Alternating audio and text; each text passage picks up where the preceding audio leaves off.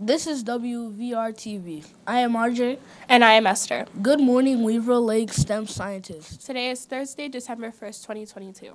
What is on the lunch menu today? Serving in the cafe is orange chicken, white rice, graham crackers, ginger stir fry veggies, fresh fruits, and veggies. Now here's Aiden with the weather forecast. Looks like it, it looks like it'll be a little warmer than yesterday. The high for today will be 34 degrees with a low of and the low will be 28 degrees. So stay warm out there and have fun in the snow. Now back to RJ and Esther. Thank you, Aiden. Thank you, Aiden. Now for the joke of the day. When does your dinner not get too hot? When? When it's chilly. Don't forget that next week is Spirit Week. Monday is disco day. Thir- Tuesday is Neon Day.